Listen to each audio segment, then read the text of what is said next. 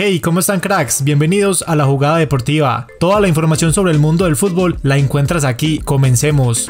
Finalizamos el día con noticias de Edwin Cardona, y es que el colombiano sigue sin definir su situación.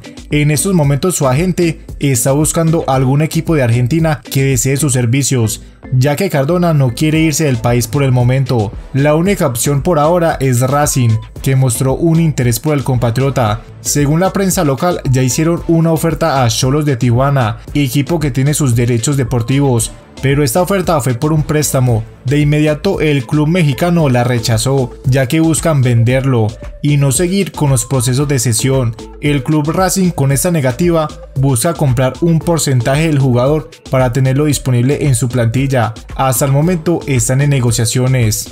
Hablando de otros temas, en el primer video del día les comentamos la ovación que recibió Falcao por parte de la hinchada de Atlético de Madrid. El Tigre hoy en sus redes sociales compartió dos mensajes sobre esto que pasó ayer. Por la derrota dijo lo siguiente, no se nos dio el resultado que esperábamos, a prepararnos para los partidos que vienen. Y sobre la ovación que recibió compartió este mensaje, agradezco de todo corazón y muy emocionado por reencontrarme con los hinchas del Atlético de Madrid.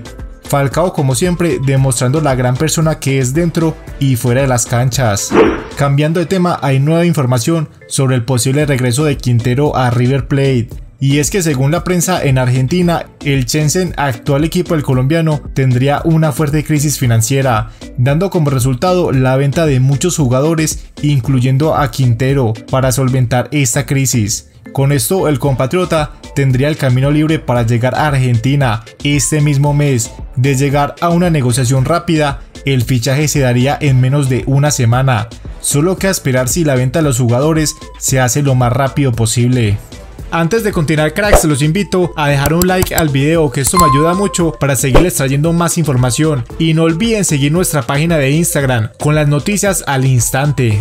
Por otro lado, el presidente del Porto habló sobre Luis Díaz y su posible salida del club este mercado de invierno. Esto dijo en un diario de Portugal. Es natural que cualquier buen jugador, no solo Luis Díaz, sea acosado por grandes equipos, pero nuestra intención en este momento es mantener a tantos jugadores como sea posible.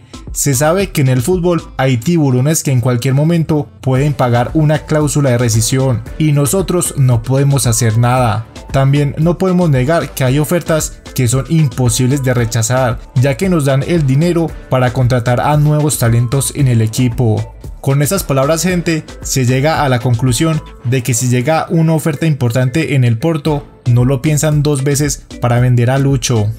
Ya para finalizar gente, el golazo olímpico de cuadrado le ganó a todos. Fue escogido como el mejor gol de diciembre en toda Europa. Una locura lo que hizo el Panita en ese partido contra el Genoa. Bueno cracks, hasta aquí las noticias del momento. En la tarde seguiremos con más información para que estén pendientes del canal. No olviden seguir la cuenta de Instagram con las noticias más importantes del momento.